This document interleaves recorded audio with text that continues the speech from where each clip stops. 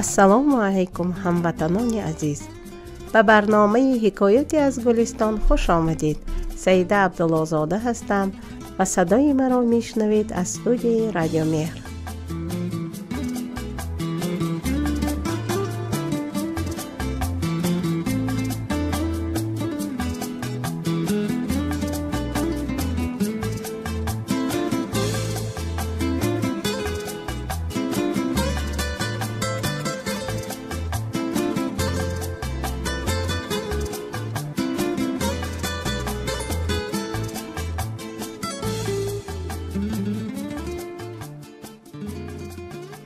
таҳиякунанда маҳдина ҳайдарзода садобардору тадвингар муҳаммади ҳаким лутфан то поён моро ҳамроҳӣ кунед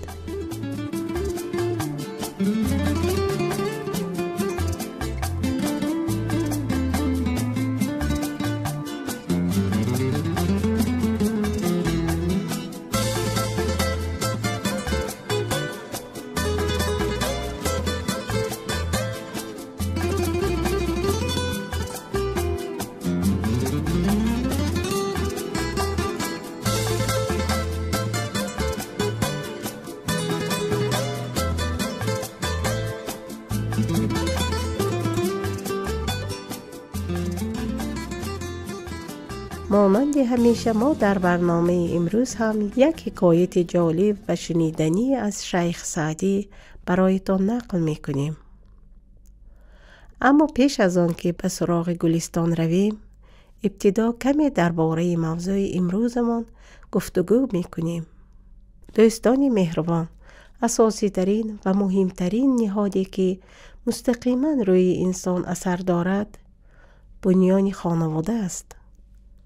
Мо барои ин ки ҷомеаи солим дошта бошем. Бояд ки хонаводаҳоямон вазъияти матлубу муносиб дошта бошанд. Хушбахтона тоҷикистон аз ҷумла кишварҳое аст ки тавониста аз зиндагии хонаводагӣ ва дастаҷамъиро дар худ ҳифз кунад.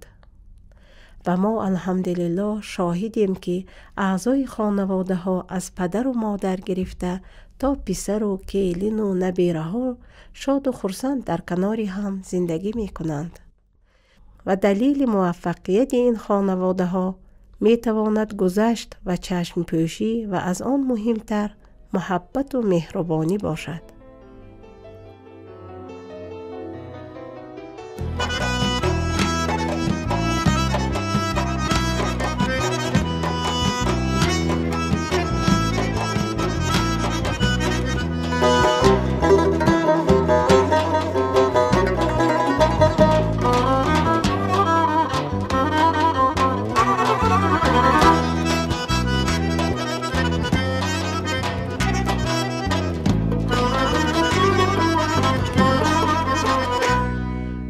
فرزندانی که در خانواده مورد حمایت و محبت و مهربانی قرار می گیرد از شخصیت و عزت نفس بالای برخوردارند و در مراحل مختلف زندگی مثل تحصیل، دوستیابی، ازدواج، اشتغال موفقترند.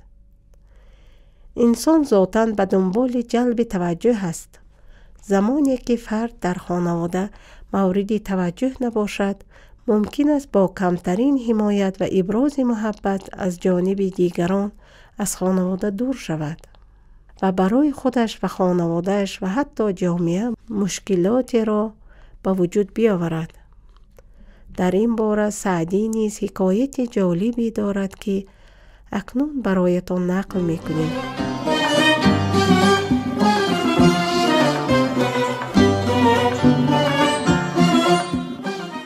ҳикоят.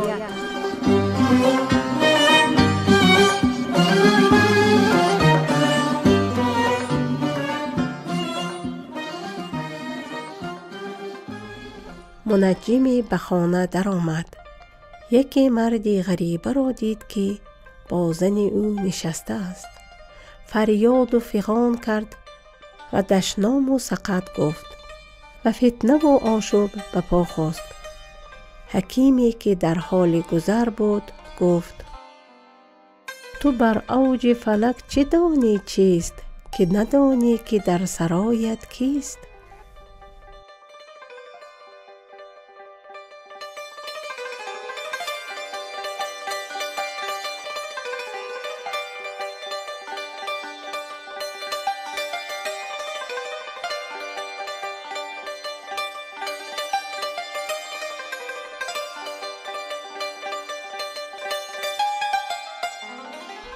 همون طوری که می دانید انسان در همه ادوار تاریخ به دنبال کسب قدرت، ثروت و البته شهرت است. یکی از مستاقهای شهرت داشتن احترام و توجه و محبت دیگران به خود است. از آنجایی که انسان بنده محبت است، هر کجایی که به او بیشتر بها دهند و محبت کنند به همان سند بیشتر مایل می گردد. زنی که از همسرش محبتی بسیار ببیند شاداب و سرزنده است و عشق و علاقه او به همسر و فرزندانش بیشتر می شود. در این باره روایت زیبایی است از رسول اکرم صلی الله علیه و آله و سلم می فرمایند این گفتار مرد به همسرش که من تو را دوست دارم هرگز از قلب زن بیرون نمی رود. дар ҳикоят низ ҳаким хеле зариф ишора мекунад ки ту мунаҷҷим ба дунболи низораи ситорагон дар дурдастҳо ҳастӣ вале аз ситорае ки худованд барои ту дар даруни хонаат бахшидааст ғофилӣ.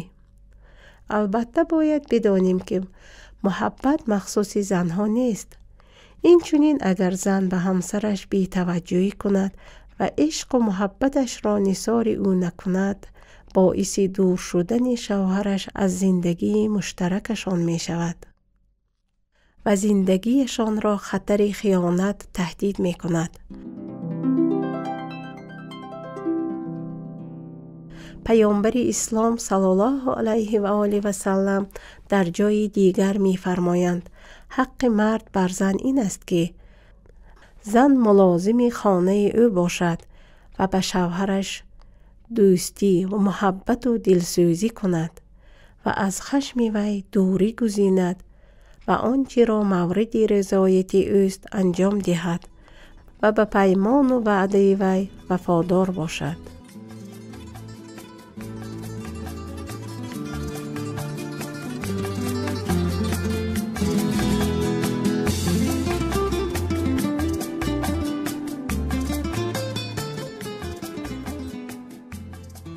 ҳамроҳон ва шунавандагони барнома. Аз ин ки бо сабру диққат садои моро мешунавед бисёр сипосгузорем.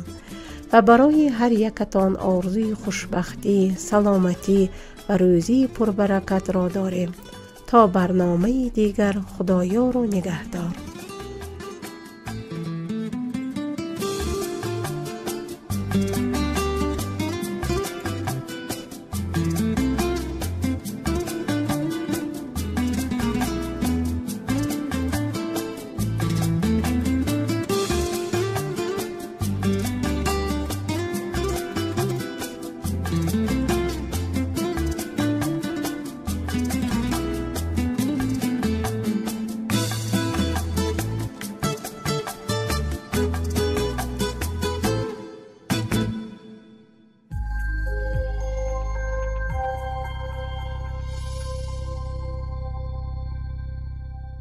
برای دریافت پادکست های بیشتر و برنامه های متنوعی رادیو مهر، ارمغان امید و آینده می توانید با واتساپ ما با شماره پیلوس 90 531 623 06 76 پیام دهید و با ما در ارتباط باشید.